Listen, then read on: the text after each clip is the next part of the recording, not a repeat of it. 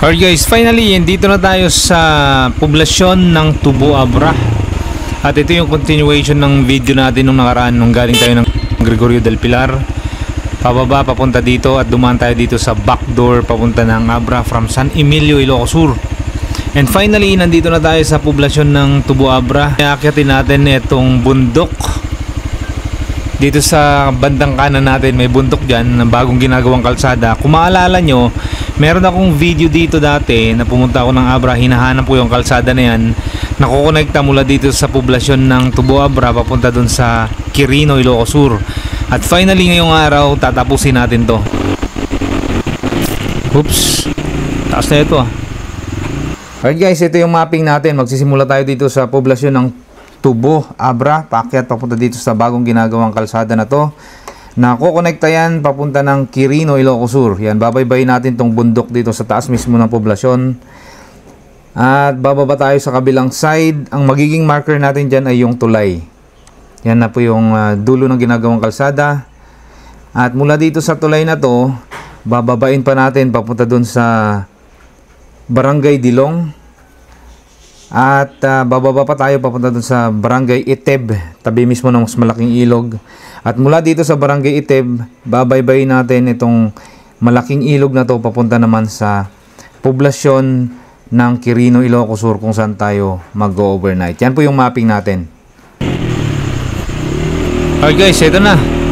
Pakyat na tayo, bungad pa lang, akyatan na. Matindi-tinding akyatan to. Grabe yung mga matatanda dito, ano?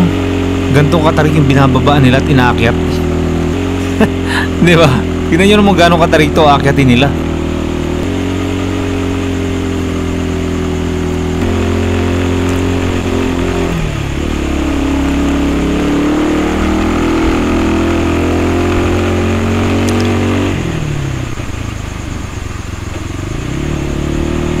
Sementado pa naman dito. Kaya wala pang problema kahit akyatan pa yan basta sementado. Walang problema.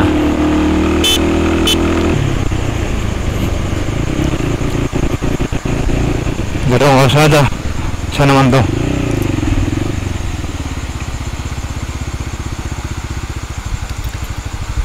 Alright, ito na yung bagong ginagawang kalsada guys dito sa bandang kanan na. So ito yung pinapakita ko sa map kanina sa inyo. Ayan, backyard pa tayo brother. Actually, merong existing na daan dito. Tapos pinapalapad lang nila. Ito yung ginagawa nila ng bypass road papunta ng Quirino, Ilocos Sur. Woohoo! Bangin na yan.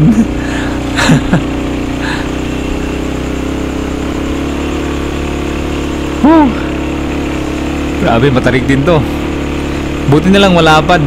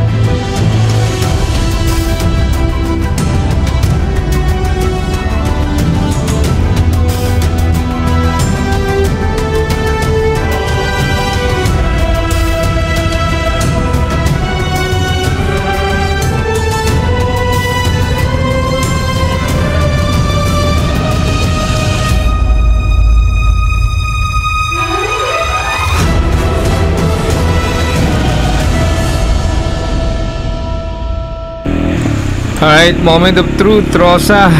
Let's do it!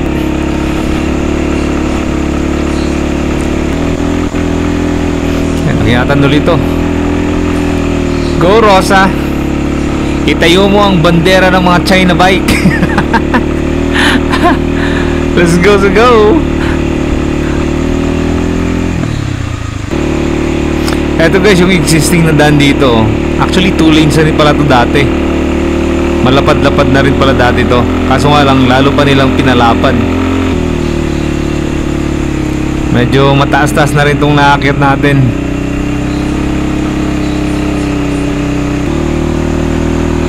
Yan, bangin na yun sa kaliwa. check lang natin tong location na to.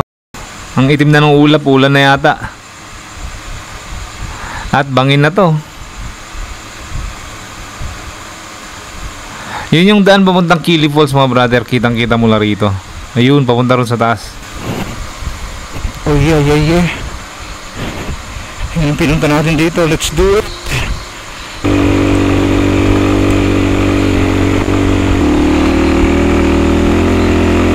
Akyatan ulit. Let's go sa go.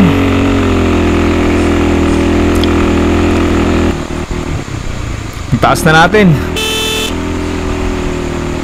Alright, let's go. Ito, medyo basa na ng konti yung lupa niya.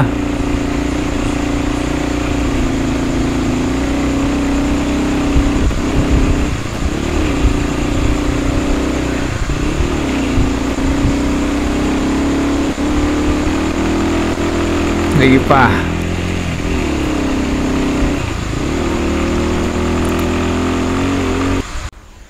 Taas na natin. Tignan natin dito. Ah, taas. Ah, Ang kulimlim na ng langit mga brother. Good luck. Nagiba na yung kulay ng lupa rito. Parang may halo ng buhangin. Yung lupa ng bundok.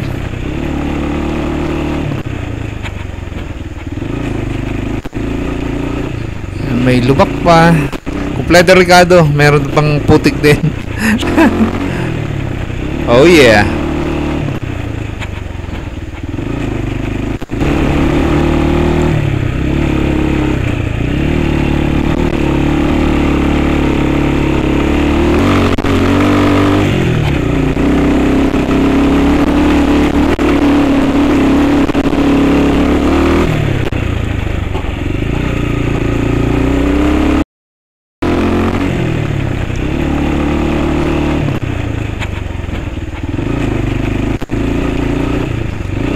Wow!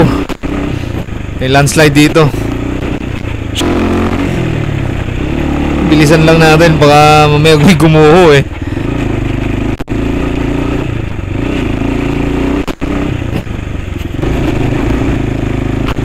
Ay mga pansin nyo tong part na to mga brother Para siyang puting lupa So para siyang merong buhangin Or ito yung napulverize na mga bato dito siguro dati nung hinukayan.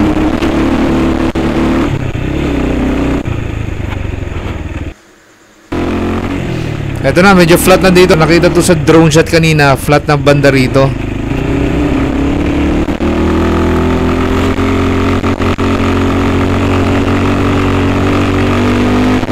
Ito sementado na. So bali na yung pinakatuktok ng bundok mga brother. Susunod na ito bababa na tayo dyan.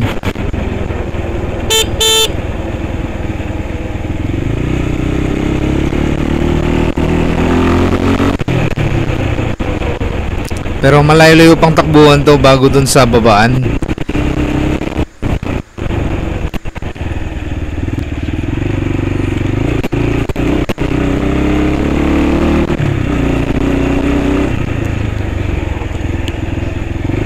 So far, ang pinakamalapad na ginagawa nila ay dun sa may malapit sa ah, poblasyon ng Tubo Abra.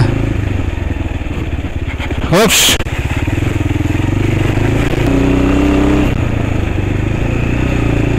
Woo!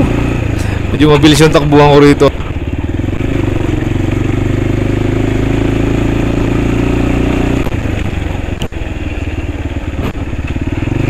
Kung makapansin nyo, one lane na lang din to, single lane na lang. Hindi pa umaabot yung bako dito. Ito iba ng quality ng kalsada, mabato na. Mabato na rito. Oops.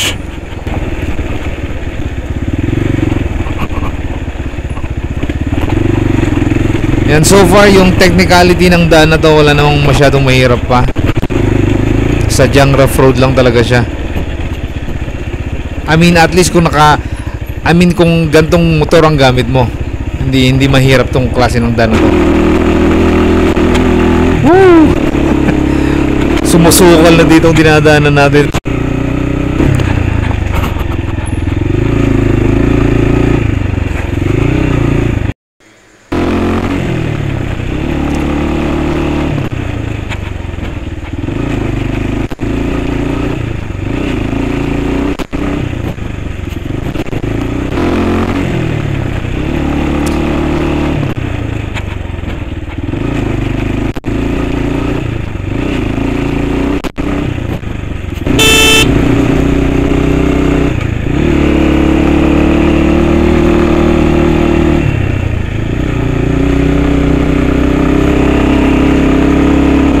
Sarap ratratin to eh, kaso nga lang first time ko kasi dito baka mabulaga ako sa unahan. Ito na kasi nasabi ko, biglang rough road.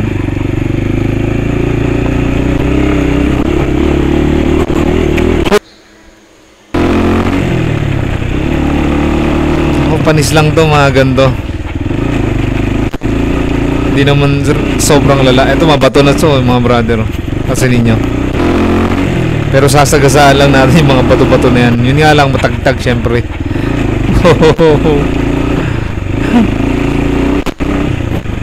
Yun!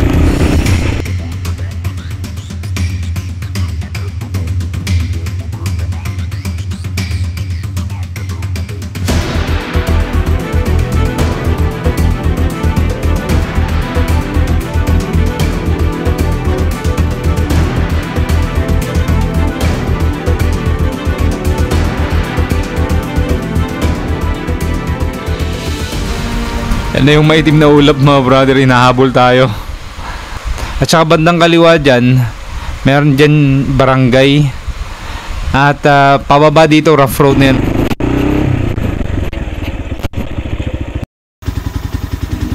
Alright, first part pa lang ng babaan, ng gagaliitin na yung mga bato dito. Loose yung mga bato mga brother. Woo, okay. Kanina kasi yung inakyatan natin doon doon sa may poblasyon ng Tubo Abra, medyo banayad lang yun eh. Matarik siya pero at least yun pit-pit na. Pero ito pabulusok naman to tapos mabato. Eh nakikita ko na yung bangin no. Pag nakakita ko ng bangin, nababawasan yung kumpiyansa ko sa pagdadrive eh.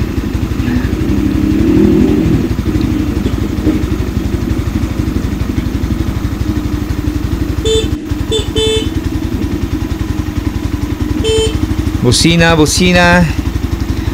What's up? Madulas yung bato niya. Pumapaibabaw lang yung gulong pero talagang kumakadyos dahil mad, dahil gumugulong siya. Medyo mahaba-habang babaan to kanina mga brother sa nakita sa drone shot.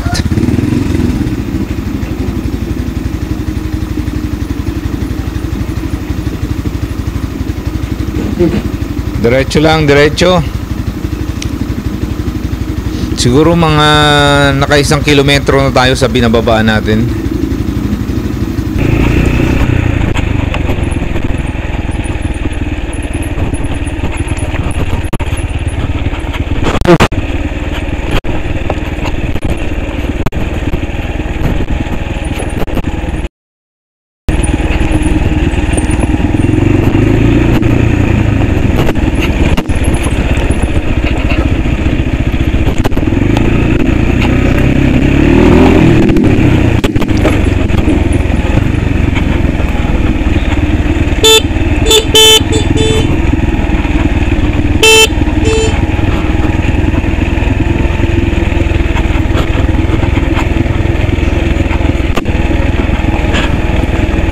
And finally, nandito na yung junction mga brother.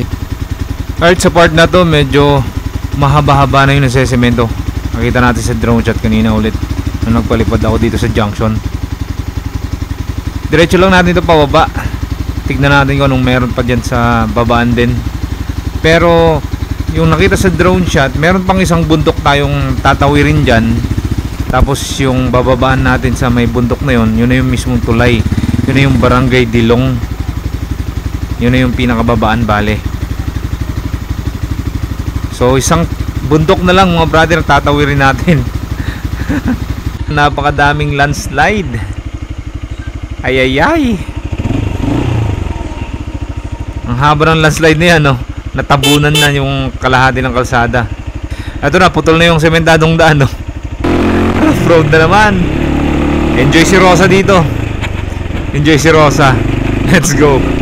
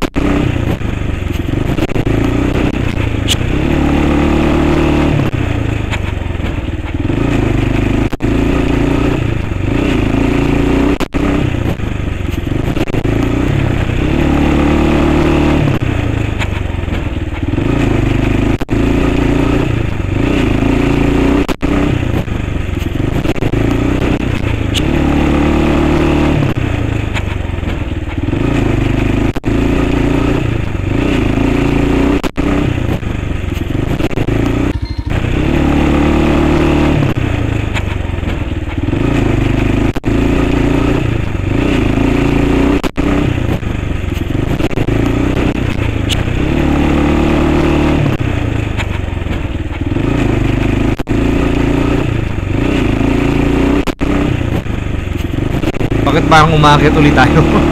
Akala ko bumababa na tayo kanina. Abay, kagulo naman ang kalsada ng Reba. Akit ulit tayo. Wow! Malubak din to kaso nga lang, hindi siya yung malalang lubak. Ay yung mga rat na maliliit lang to. Tapos konting bukol-bukol.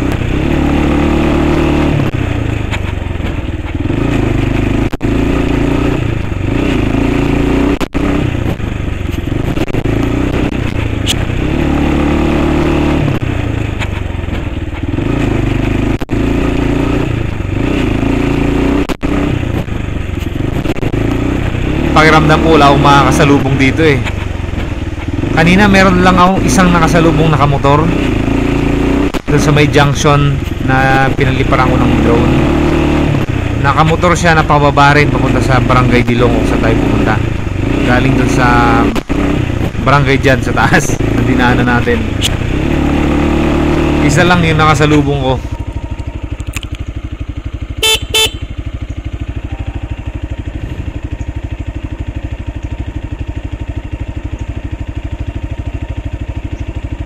Tatanong ko na yung ilog dito eh. Yan, sa mga mahilig mag-adventure, pwede yung tahakin tong daan na to. Ginagawa pa lang naman pero ito yung magsisilbing bypass road ng Abra papunta sa Ilocos Sur or vice versa. Yan, Tubo Abra papunta ng Quirino, Ilocos Sur. Ay, bangin!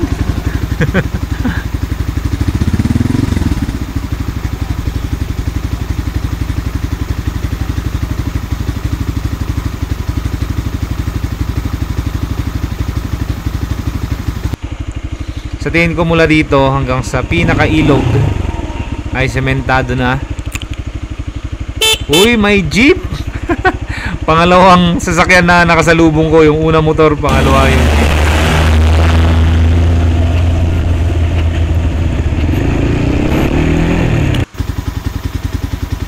Alright. At least may jeep. Papunta yan sa barangay na nandaanan natin yan. Alang Atin at ang pangalan. Uy, bangin. Wow. Ay ay ay, buti na lang dito natin nakasalubong to. Medyo mas malapit na part ng kalsada. Pero dito lang tayo. sa gilid. One mistake. Uy, may ukad sa ilalim na itong daan na to ah. Oo nga pala, itong barangay dito sa babaan, itong Dilong, ay part 4 yan ng Abra. Hindi ko lang sigurado kung ngayon ay na-acquire na ng Ilocos Sur. Kasi merong apila dyan dati na isasama na daw sa Ilocos Sur kasi mas malapit siya sa Ilocos Sur kumpara dun sa Tubu Abra. Ang history kasi niyan dati yan part ng Abra. Ito na nga oh. Ay, ay, ay, ay, ay. May pabulaga pang kasama. Kung mapapansin yung kalsada rito, bagong-bago lang oh. Hindi pa nga nila pinapadaanan bandang kaliwa kasi bagong semento pa lang yan. So, ayun, dito na ta finally, sa baba na tayo. Parang masarap maligo dito sa ilog ah. Parang masarap maligo-ligo kaya ako rito. Bago tayo pumunta ng Quirino. ah. O yun nga no, parang may mini dam mga brother oh. Silipin natin. Parang may mini dam, may mga naglalaba eh. Tsaka naliligo. Merong ginawang parang jacuzzi. Ayos yan ah.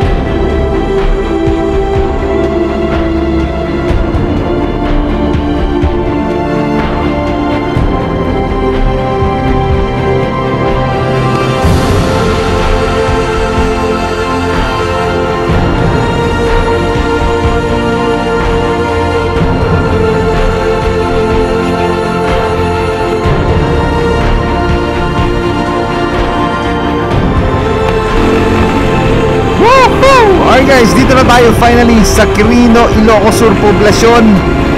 Finally, tatapos ko na ang Tubo Abra hanggang dito sa Quirino, Ilocos Sur. Maraming maraming salamat sa pagsama at panonood. At kung nagustuhan mo ang video na to, please like, share, and subscribe. Mike Solo Riding Adventure signing out. I'll see you guys on the next adventure.